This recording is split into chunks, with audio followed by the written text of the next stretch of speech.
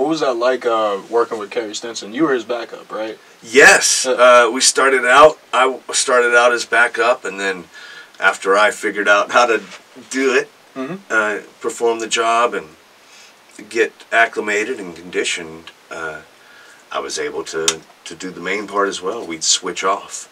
Um, the reason that they had two of us in the first place was because Barney would make magical appearances on separate sides of the stage, Yeah. you know, in a new costume. Yeah. Right, so that would be me or, or the other Barney. Mhm. And then during the day, we would do PR, television stations, and children's hospitals. Oh, that's so, amazing. Yeah, so we'd go and uh, we'd go and do sing-alongs downstairs in the lobby, and then after that, we'd go upstairs, ride the elevator, go to the rooms in that the costume. yeah, yeah. I'd go room to room to all the kids who couldn't come downstairs. And, um, you know, when I got the audition straight out of acting school, I was in those comedy troupes, those blue comedy troupes I was telling you about. And uh, teacher paged me to tell me about the audition, told me to come and talk to her. So I did. And uh, she told me about it, and I was like, mm-mm. She goes, what do you mean, mm-mm? I said, I'm not doing that. Said, Why not? Have you seen our comedy troupes? Right. I'm I'm not even 21 yet. I was just fixing to be 21. I was like, there's no, they won't even want me, much less me wanting to do it. Mm-hmm. Because the only contact I'd had with it is passing by it Yeah.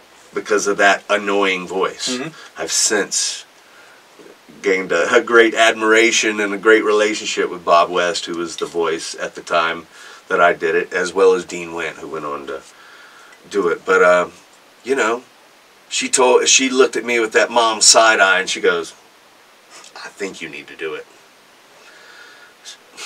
Okay, I just graduated.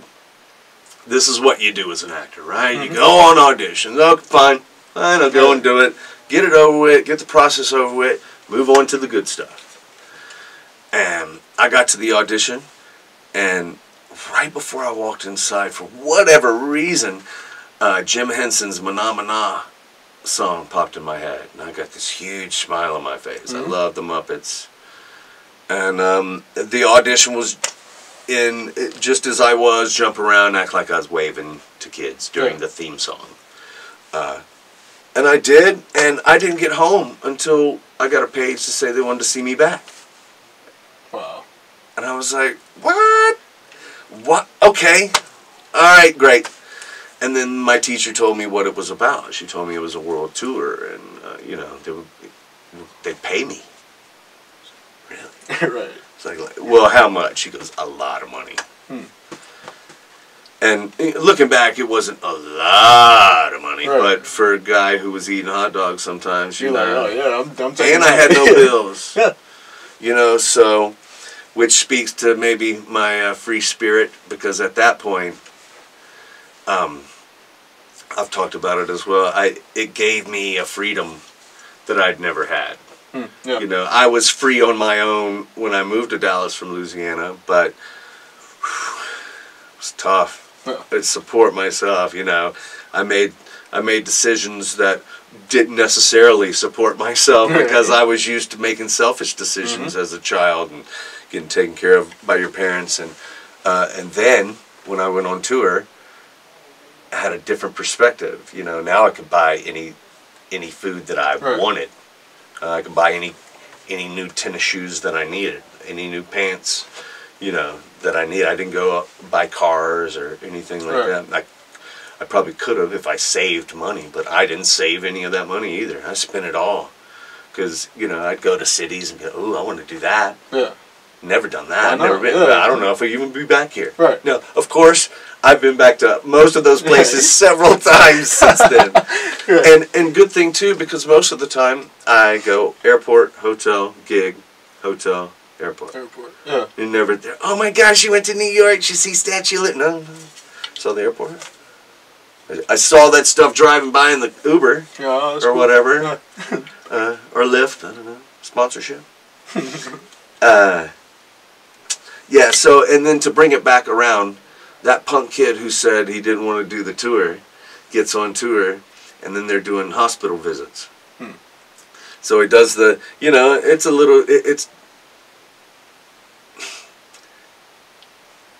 it puts it in perspective when you walk into the hospital and you see the kids hanging out, but then you go upstairs to the kids who couldn't come out Okay, of their room. down. Yeah. And uh, the first time they took me to a burn unit, and they didn't tell me about that. Hmm. Before they didn't tell you beforehand. They didn't tell me it was a burn unit. Okay. They didn't tell me what condition Yeah, uh, this child was in. Yeah. And um, I, I always preface this: it's not. This isn't the point that I have a weak stomach, but I do have a weak stomach, and Mhm. I wasn't prepared for it extra. You know, Yeah, from was- yeah. beyond, you know, and but beyond that, emotionally, it was like hmm there was a few other instances, you know, some make a wish things. Yeah. um, that put it all in perspective. And then I was like, oh, okay, I'm sorry. Yeah. But I'm glad to be here. Yeah. So, you know, that that's why I do what I want. I make sure it's happy because I know that my heart and mind's in the right place. For sure. If you do stuff with the best intent, you know, good things are gonna happen. For sure. I agree.